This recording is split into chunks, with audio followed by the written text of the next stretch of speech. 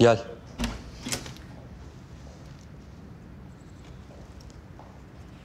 İstediğiniz Ercüment Karadağ dosyası Sayın Savcım. Teşekkür ederim.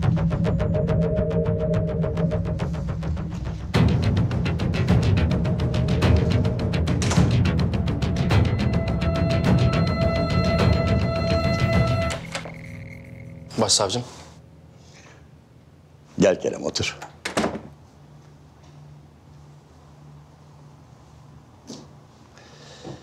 İstediğin dosyalar burada.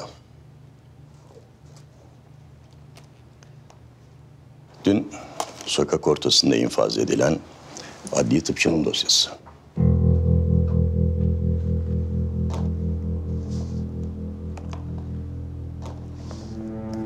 Pınar Demirdelen'in ölümü.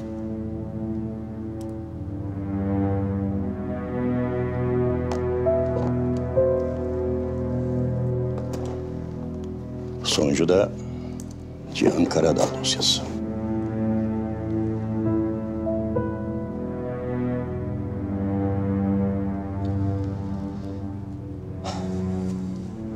Bu üç dosya birbiriyle bağlantılı. Çok titiz inceleyip böyle hareket etmek lazım. Başından beri seni görevlendirmek istemiştim. Sen hayır dedin. Eşimle aynı dosyada çalışmak doğru olmaz demiştin. Yeni bir gelişme mi var? Zeynep kızımız dosyadan çekildi mi? Hayır, hala çalışıyor. Dosyanın önemi bir istisna yapmama sebep oldu başsavcım. Eğer siz de uygun görürseniz. Kerem? Savcım, Aslan başkomiserim. Nasıl oldu olay?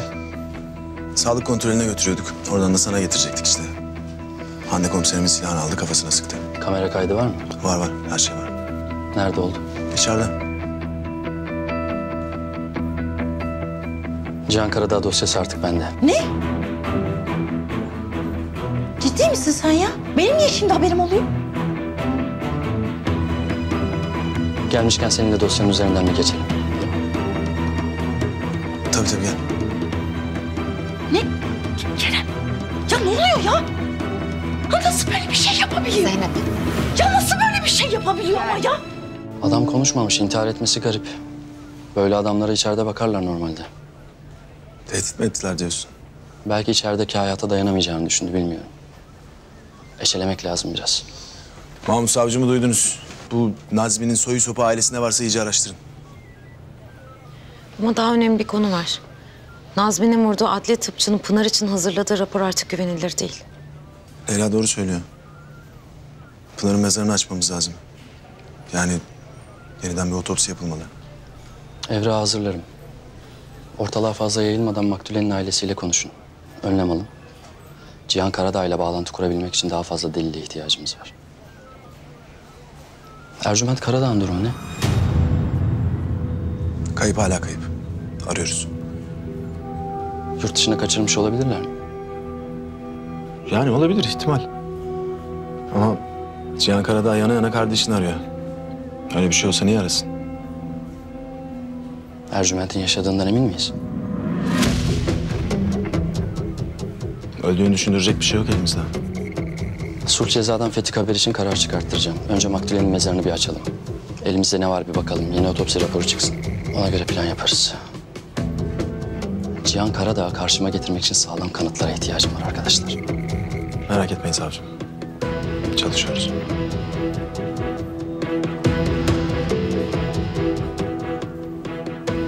Zeynep komiser. Sizin söyleyeceğiniz bir şey var mı? Yok sayın savcım. İyi çalışmalar arkadaşlar. Sağ ol savcım.